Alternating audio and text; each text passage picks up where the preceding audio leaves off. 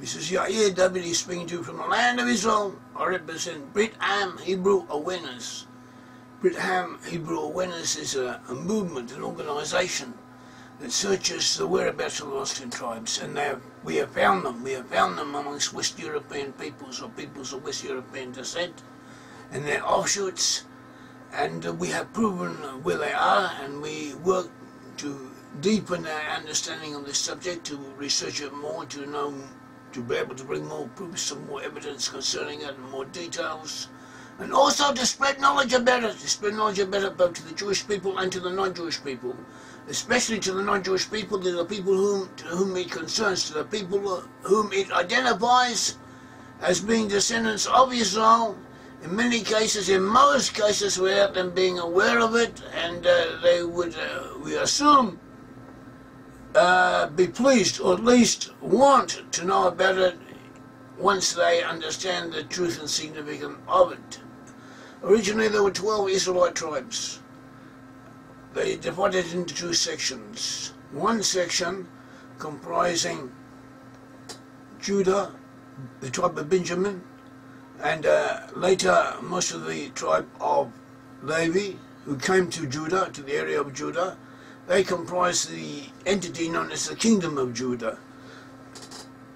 See, in 2 Chronicles 11, 14, it tells us uh, concerning the Levites, who later joined on to the tribes of Benjamin and Judah, who had compri originally uh, comprised this entity. From the descendants of this, this polity of Judah, the kingdom of Judah, came the core element, the, the the initiators of the Jewish people. Most Jewish people somehow or other are descended from people who were in the kingdom of Judah at that time. They included, as we said, the tribes of Judah, Benjamin, most of Levi, and also minority representatives of all of the tribes. And uh, they are referred to the Bible in Scripture as Judah. Judah refers to these tribes altogether. And apart from that, there were ten tribes, ten tribes in the north, that is the majority of the Israelite peoples, the majority of the Israelite tribes, who created their own kingdom, their own, their own force, their own uh, entity, polity in the Middle East, which was actually much more important and much more powerful than Judah was, or at least significantly so. And uh, this is uh, referred to as, as uh, Ephraim, or Samaria, or as Israel, and as distinct, Israel as distinct from uh, Judah, and other names. And uh, these were the ten tribes. These ten tribes were conquered by the Assyrians and taken into exile. In their places of exile, they lost awareness of their ancestry. They lost consciousness of where they had come from. They too, they, they, they comprised ten tribes. The ten tribes, the ten tribes of the northern kingdom who were taken into exile became the lost ten tribes. They are Ephraim, Manasseh, Issachar, Zebulun, Reuben, Simeon, Gad, Dan, Asher, and Naphtali.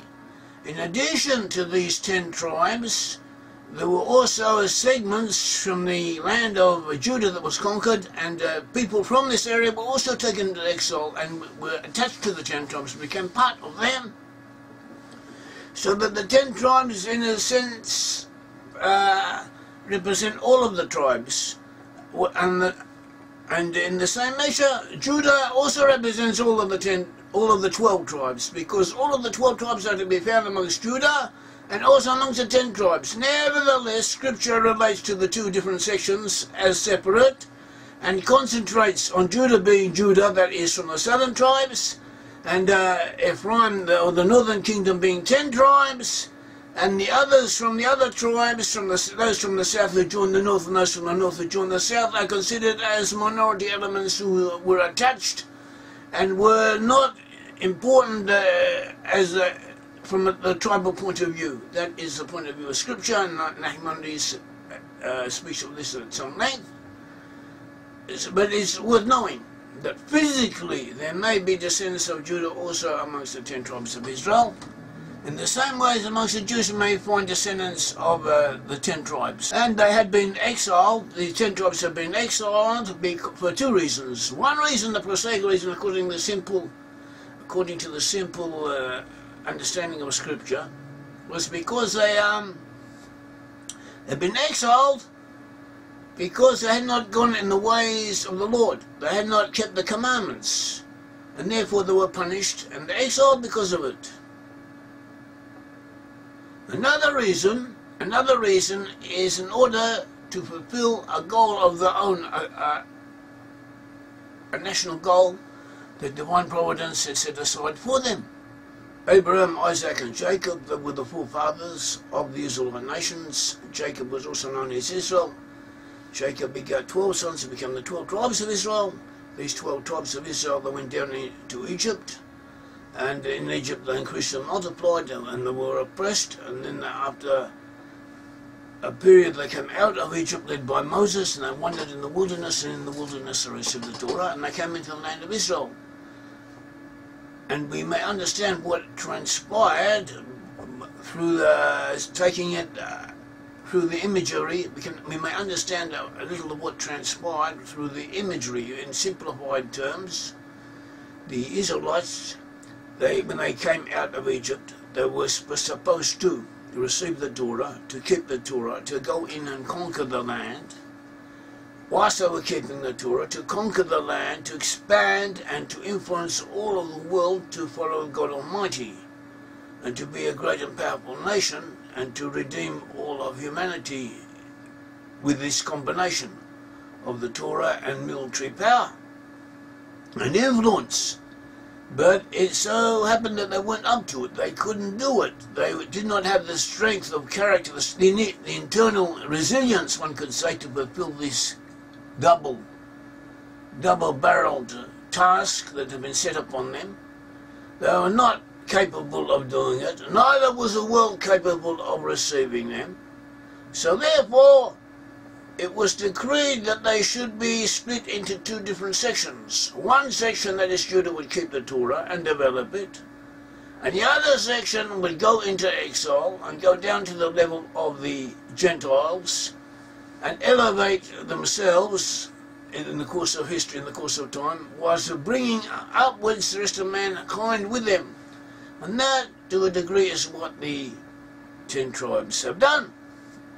Now, before we go on with this, we should always go back to say that they had been exiled, according to the simple uh, understanding of the Bible, because they had worshipped other idols.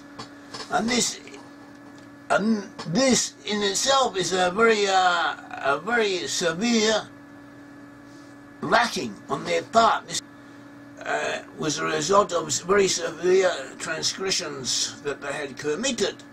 Uh, 2 Kings, to the second book of Kings, chapter 17, verse 7 onwards, says this, explaining, explains why the exile of the ten tribes came about. It says now, this came about because the sons of Israel had sinned against the Lord their God, and brought them up to the land of Egypt from under the hand of Pharaoh king of Egypt, and they had feared other gods. They also followed the customs of the nations whom the Lord had driven out from before the sons of Israel. That is when they came into the land of Israel, there were nations living in the land. These nations were very sinful. They had been warned not to follow after them, to drive these peoples out, and not to imitate their ways, not to learn from them. And uh, but that is what they did. They didn't drive out all of the peoples there in the land. They intermixed with them and they learned to do as they did. And in the end, this is what uh, caused them to corrupt their ways and to be exiled, as the Bible tells us. And uh, 2 Kings continues. Those are for the customs of the nations and the Lord had driven out from before the sons of Israel, and the customs of the kings of Israel, which they had introduced. It wasn't enough that they copied what other people had done. They brought in things of their own, inventions of their own. And he says, and the sons of Israel did things secretly against the Lord their God, which were not right. This word, uh, uh, so it is secretly. In Hebrew, actually means that they had uh, synthesized, uh, their own Israelite beliefs with those of the nations around them and created their own religion. Uh, so this is what it says. It says, Moreover, they built from themselves high places in all their towns, from which from which tower to fortified city, and they set up for themselves memorial stones and asherim, asherims are the sacred groves, uh, planted trees and so on, uh, on every high hill and under every green tree. And there they burnt incense on all the high places, as the nations did that the Lord had taken into exile before them, actually had driven out before them. And they did evil things provoking the Lord. They served idols, concerning which the Lord has said to them, You shall not do this thing. The Lord warned Israel and Judah through all the prophets and every seer, that is, uh, people who see things, wise people, uh, saying, Turn back from your evil ways and keep my commandments and my statutes and act accordance with the law which I commanded your fathers, which I sent to you through my servants the prophets. However, they did not listen but stiffened their neck like their fathers, who did not believe in the Lord their God. They rejected his statutes and his covenant which he had made with their fathers, and his warnings which he gave them. And they followed the idols and became empty, and followed the nations that surrounded them, which the Lord had commanded them not to do as they did. And they abandoned all the commandments of the Lord their God, and made for themselves cast metal images, two calves, two molten calves, uh, bull calves, uh, statue, uh, statues of metal. And they made an Asherah, that is a sacred grove of a pagan uh, of a pagan goddess, and they worshipped all the heavenly lights and served Baal. Then they made their sons and their daughters pass through the fire. And they practiced the divination and interpreting omens and gave themselves over to do evil in the sight of the Lord, provoking him. So the Lord was very angry with his Israel, and he removed them from his sight, and none was left except the tribe of Judah. It's explained uh, by commentators, when it says nothing, none was left to be except, except the tribe of Judah, means both Judah and Benjamin. The last verse we read was, So the Lord was very angry with Israel, and he re removed them from his sight. No one was left except the, the tribe of Judah. Now it is explained by the tribe of Judah that, that both Judah and Benjamin were, were intended uh, that is Judah and Benjamin together are considered Judah. The commentators a Netziv, Radak, Dat Mikra. They explain that Judah and Benjamin were considered one tribe.